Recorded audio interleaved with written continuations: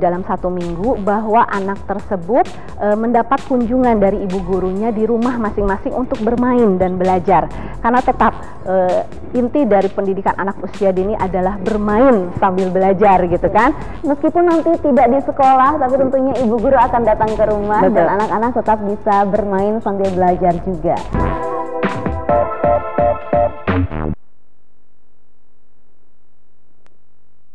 Ya masih di semangat pagi tentunya masih bersama saya Dea Syaima dan juga Ibu Dewi dari Sekolah Alfabet.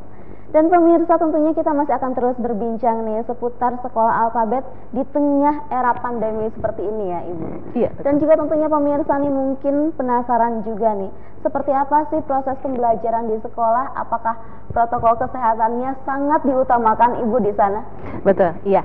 Uh, pada saat memang uh, nanti tahun ajaran baru kita buka 13 Juli, memang pemerintah uh, belum memperkenankan untuk uh, pembelajaran tatap muka tetapi untuk alfabet sendiri kita sudah sediakan protokol kesehatan, simulasinya, sehingga minimal memberikan gambaran kepada orang tua seandainya memang diperkenankan dibuka, orang tua sudah tahu bagaimana proses protokol kesehatan yang harus dilalui anak ketika anak datang ke sekolah. Jadi nanti kita bisa lihat juga dari mulai anak datang, ada pemeriksaan dengan termogan, kemudian uh, cuci tangan, kemudian uh, ada penyemprotan sepatu dan tas dengan disinfektan, kemudian masuk ke kelas seperti yang kita lihat di layar bahwa eh, meja-meja yang sudah kita siapkan untuk pembelajaran pun sudah memakai anti droplet dan mereka juga bermain memakai face shield yang yeah. insya Allah mudah-mudahan aman dan kita atur jarak mereka ketika bermain.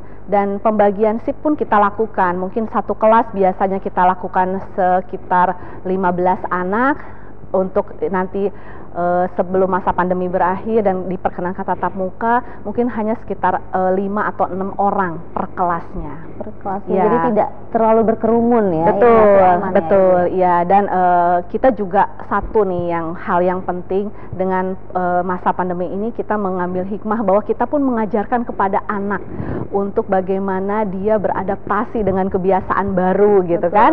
Uh, mau tidak mau mereka harus mendisiplinkan agar facialnya tidak lepas atau maskernya tidak lepas. Walaupun memang kita sudah e, mencoba kemarin di waktu saat pembagian rapot pun anak-anak sudah mulai disiplin untuk mengenakan masker. Ya kalau ke, kecuali kalau memang anaknya memang tidak e, betah dengan masker, mereka memang menggunanya dengan, menggantinya dengan face shield. Iya betul. Oke. Jadi tentunya masih aman ya kalau misalnya nanti dibuka dan juga para orang tua memperkenankan anak-anaknya untuk bersekolah. Betul, iya karena memang kita tidak boleh ada paksaan kepada orang tua yang memang percaya silahkan untuk bisa bermain ke sekolah sekolah karena terus terang kemarin sempat kita lakukan PJJ yang memang dianjurkan oleh pemerintah dua bulan kemarin adalah pembelajaran jarak jauh melalui kelas online anak-anak uh, awalnya memang antusias melihat uh, ibu gurunya, melihat misnya, melihat teman-temannya melalui uh, layar di laptop dan mereka melakukan interaksi uh, komunikasi lewat Zoom atau lewat Google Meet. Namun uh, semakin ke sini ada juga mereka kebosanan karena terus terang uh, kalau boleh jujur nih uh, PJJ atau kelas online untuk anak usia dini dirasa kurang cocok gitu. Betul. Karena anak usia dini adalah masa-masanya anak bermain. Iya, mereka Berinter mengeksplor diri betul ya? mengeksplor diri e, berinteraksi e, sehingga komunikasi pun terjalin lebih bagus gitu. Mungkin nanti ada rencana khusus nih di era pandemi ini seperti apa nih pembelajaran yang akan dilaksanakan nanti? Ya betul, ya karena kita juga memang belum diperkenankan untuk tatap muka, jadi tetap kita memberikan solusi atau alternatif kepada orang tua pilihan-pilihan belajar dengan strategi-strategi yang sudah kita siapkan. Salah satunya kelas online tetap dibuka bagi yang mau, karena memang ada juga beberapa orang tua yang tetap memilih ingin uh, tetap dengan kelas online-nya, dengan PJJ-nya. Yang kedua adalah homeschooling. Jadi kita bagi beberapa jadwal di dalam satu minggu bahwa anak tersebut uh, mendapat kunjungan dari ibu gurunya di rumah masing-masing untuk bermain dan belajar. Karena tetap uh, inti dari pendidikan anak usia dini adalah bermain sambil belajar gitu kan. Diusahakan karena untuk uh, supaya interaksi aksinya berjalan dengan baik, kita akan mencoba mencari yang satu zonasi sehingga bisa dimungkinkan 3 sampai 5 orang bermain bersama tentunya tetap dengan memperhatikan protokol kesehatan. Hmm, gitu, tentunya ini itu. menjadi sebuah informasi yang penting ya pemirsa karena Meskipun nanti tidak di sekolah, tapi tentunya ibu guru akan datang ke rumah Betul. dan anak-anak tetap bisa bermain sambil belajar juga. Dan juga mungkin ibu ada pesan khusus nih yang ingin disampaikan untuk pemirsa di rumah.